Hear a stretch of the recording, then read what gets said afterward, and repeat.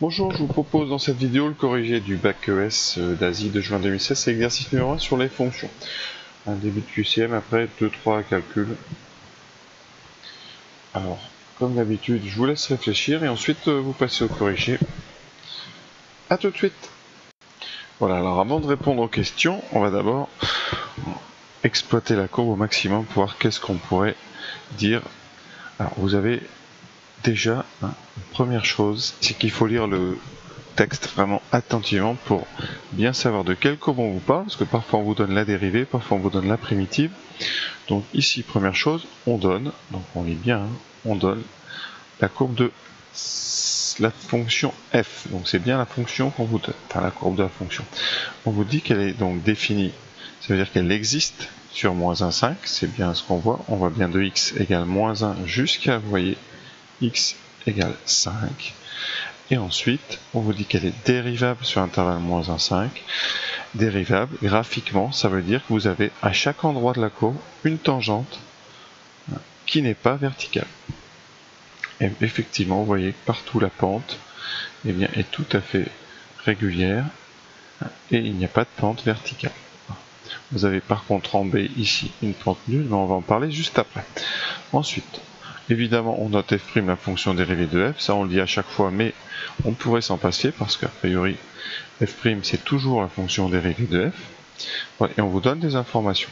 Alors les points dont on est absolument certain, parce que vous voyez, quand on voit une courbe, hein, on n'est pas sûr des coordonnées exactes, puisqu'en faisant un zoom, on pourrait peut-être passer à côté. Vous voyez, ici le point B, si on fait un zoom, eh peut-être qu'on ne serait pas exactement en 1. Sauf que là, on vous le dit, on sait que la courbe passe exactement en A et en B. C'est-à-dire que les deux points que vous voyez ici, qui ont été surlignés, sont des points exacts de la courbe. Ça veut dire que la courbe passe par le point A de coordonnées 0,1, et ça c'est très important, parce que en maths, dans le chapitre sur les courbes, quand un point de coordonnées 0,1 appartient à la courbe d'une fonction f, on peut traduire ça par le fait que eh bien, 1 est l'image de 0. Ça veut dire que f de 0 est égal à 1. Et ça, ça peut être important, ça peut être une des questions du QCM. Ensuite, vous avez le point B d'abscisse 1 et le point B d'abscisse 1. Pour l'instant, on ne vous donne pas l'ordonnée. Par contre, on vous dit que la tangente donc T0, alors la tangente T0, on va la trouver, c'est cette droite ici qui est oblique. C'est la tangente en A, donc ça, ça va être très important et on vous dit qu'elle passe par le point C de coordonnées 2, 3. Alors surtout, C n'est pas sur la courbe. Donc n'en déduisez pas que l'image de 2 c'est 3, ça c'est faux. C n'appartient pas à la courbe. Par contre, C va vous servir à calculer la pente de la tangente. Vous savez, et ça c'est le plus important, que le coefficient directeur de la tangente, c'est le nombre dérivé, à l'endroit où on a pris cette tangente. Donc ici c'est la courbe au point A, donc T0, le coefficient de T0, c'est donc la dérivée, c'est le nombre dérivé en A. C'est donc, c'est le nombre dérivé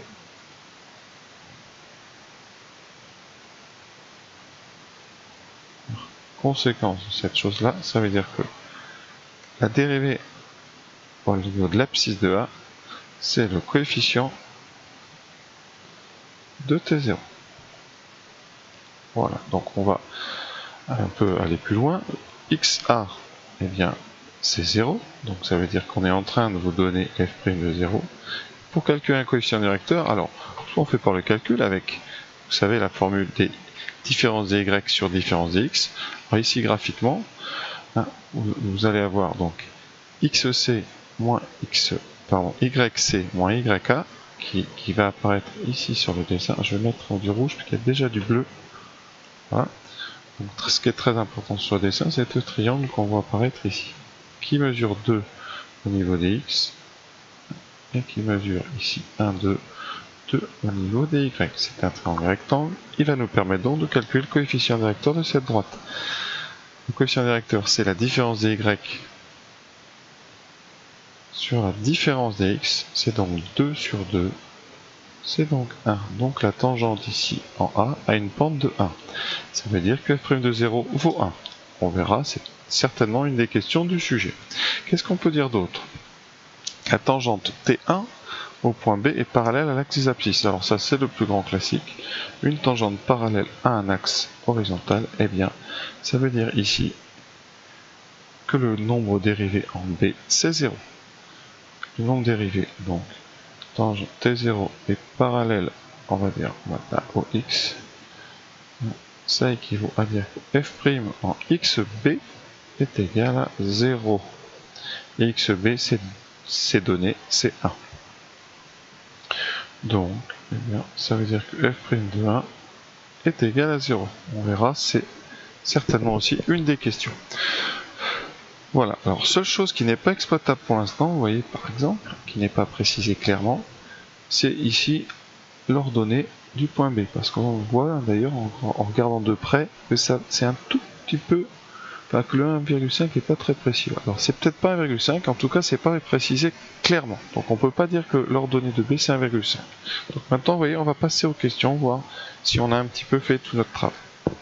Alors on nous dit donc la valeur exacte de f' de 1 est alors, je rappelle, on va faire comme si on n'avait pas fait. Donc, f' de 1, c'est le coefficient directeur de la tangente au point d'abscisse 1. Le point d'abscisse 1 ici, c'est B.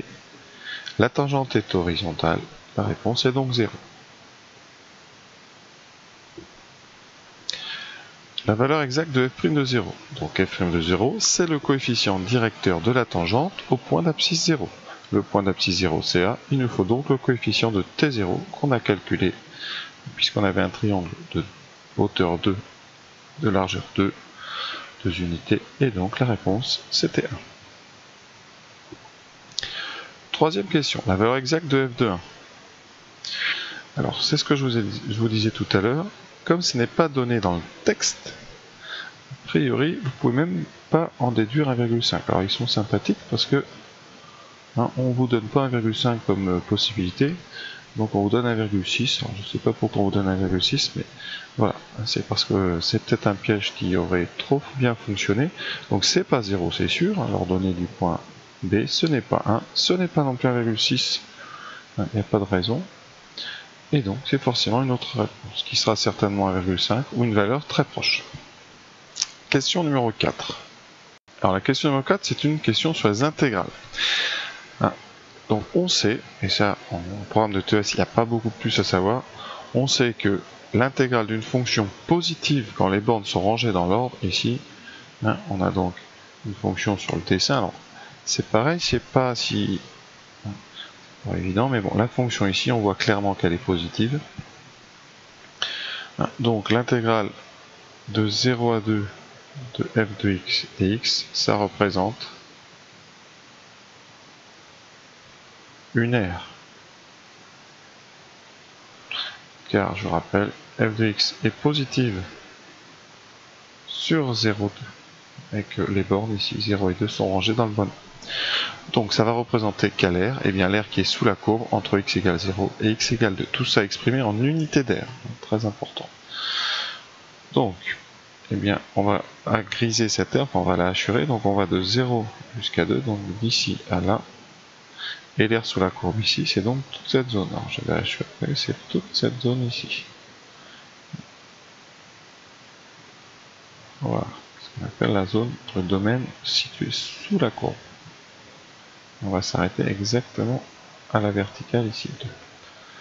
L'idée, eh bien, ça va être de mesurer, en tout cas de donner une valeur approchée de cette air. Alors, il faut de l'air en unité d'air. Alors, je vous rappelle ce que c'est une unité d'air. Alors, une unité d'air, c'est un rectangle. C'est l'air d'un rectangle qui a pour côté une unité horizontale et une unité verticale. Alors ici, c'est facile, hein, les unités sont les mêmes. Donc, une unité d'air va représenter l'air d'un rectangle ici sur mon dessin 1, 1 qui est peut-être un carré, non, on va pas mesurer. Donc voilà, vous avez 1, 1, donc ça, ça représente une unité d'air. Et donc nous, on va essayer d'évaluer eh l'intérieur de notre zone rouge ici, combien on a eh bien, de rectangles d'une unité d'air. Donc vous en avez évidemment, voyez, un ici, une unité d'air. Vous en avez un deuxième ici, une unité d'air, et là, on va évaluer. Donc on en a à peu près. on peut mesurer.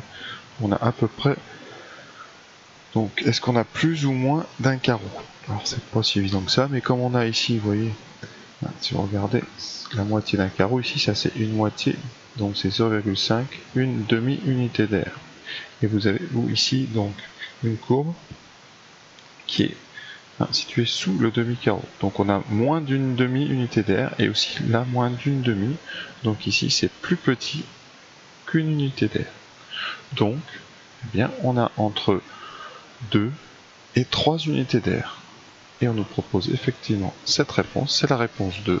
L'air est entre, vous voyez, l'intégrale est donc entre 2 et 3.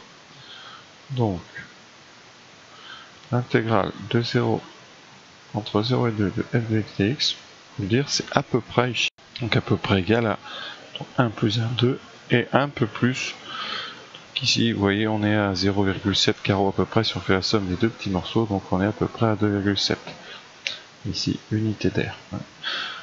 Voilà, vous auriez pu mettre 2,6, hein, mais voilà, c'est juste pour donner une idée comme ça, parce que je le dis, parce que dans la dernière question, on va calculer précisément cet air, et vous verrez qu'on trouve eh bien, à peu près justement 2,7. Donc passons maintenant à la partie B.